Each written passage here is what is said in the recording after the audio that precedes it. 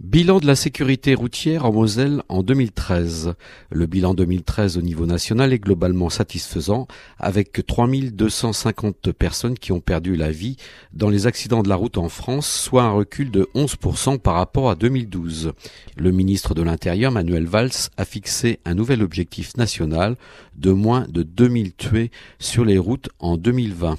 Cet objectif ambitieux nécessite une mobilisation sans faille de l'ensemble des acteurs agissant sur le volet répression et le volet prévention. En Lorraine, l'amélioration est encore plus marquée avec une baisse de 24% sur cette année. En Moselle, le bilan est encourageant puisqu'on ne dénombre au 31 euh, décembre 2013 41 tués, moins 31,7%, 451 accidents, soit moins 8,3%, 563 blessés, moins 7,4%. Par rapport en 2012, le département comptait 60 tués, 492 accidents et 608 blessés. En 2013, on relève en moyenne 2 à 4 tués par mois excepté pour le mois d'octobre, au cours duquel on a recensé 13 tués, dont 4 jeunes dans le seul accident de Creuswald le 11 octobre 2013. Nasser Meda, préfet de la région Lorraine, préfet de la Moselle. C'est un bon chiffre comparé euh, à la baisse au niveau national qui est de 11%. C'est même euh, sans doute euh, le meilleur résultat obtenu en, en Moselle, mais 41 tués. Donc c'est pas un record dont on peut se féliciter malgré tout. Et surtout qu'il ressort de l'analyse fine qu'on a pu faire et qu'on a pu échanger à l'occasion de cette présentation sur, euh, eh bien, euh, moi c'est ça qui me frappe aussi, trop de blessés encore. Hein, parce que là, en revanche, la baisse n'est pas aussi marquée. On a trop d'accidents encore, une baisse de l'ordre de 7 à 8% et euh, il en va de même pour les blessés. Donc n'oublions pas aussi les blessés. Les blessés sont des drames dans les familles et c'est un coût énorme pour la société. On voit que parmi euh, euh, les personnes décédées, bon, il y a, il y a des, motards, des deux roues. Donc on aura en 2014 des actions faudra, pour lesquelles il faudra redoubler encore euh, à la fois au titre de la prévention, de la sensibilisation, mais aussi au titre, au titre des contrôles. Mais plus encore, plus que les motards, le vrai point noir que nous avons tenu à mettre en évidence à l'occasion de cette présentation des chiffres d'insécurité routière, ce sont malheureusement les fautes d'inattention, les défauts comportementaux. 38% euh, des causes de décès sur la route sont liées à des fautes d'inattention. On a mené plus d'une quarantaine d'actions en 2013, on en fera sans doute davantage.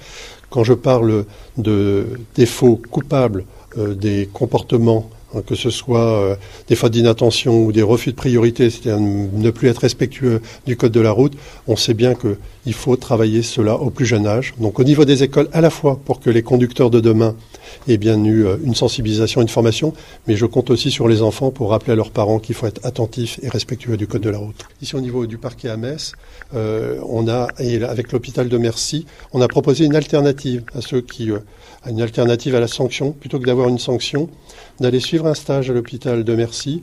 Une douzaine de personnes l'année dernière ont accepté euh, cette alternative.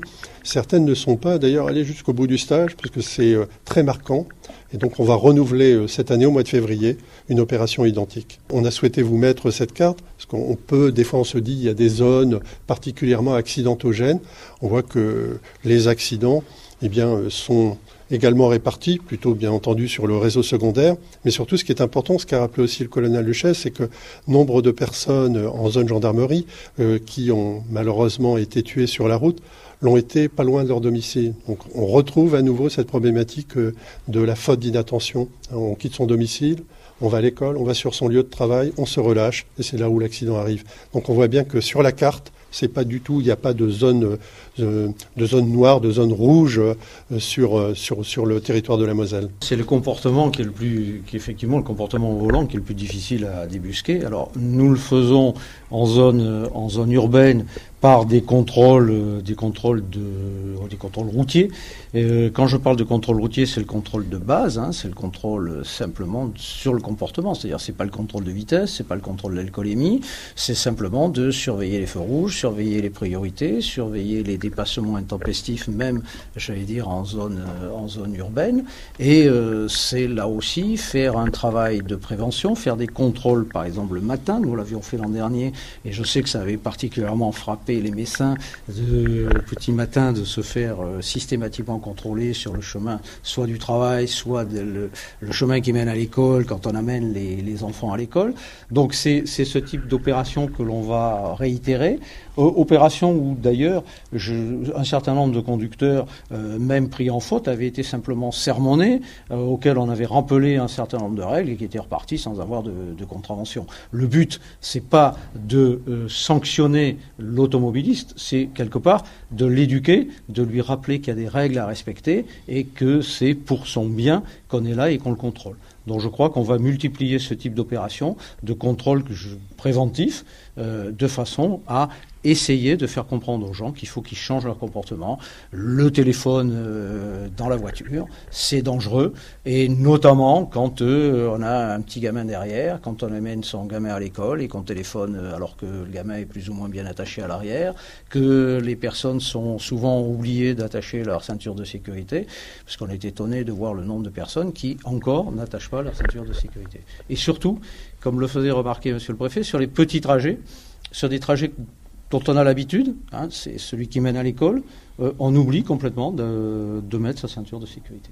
Et alors, pas paradoxalement, mais en plus, c'est surtout quand on a euh, déposé les enfants à l'école, c'est sur le chemin du retour. C'est là qu'on commence la journée. Donc c'est là qu'on prend le téléphone, c'est là qu'on commence à s'organiser, c'est là qu'on commence à vivre dans sa voiture, en oubliant qu'on est en train de conduire et que c'est dangereux.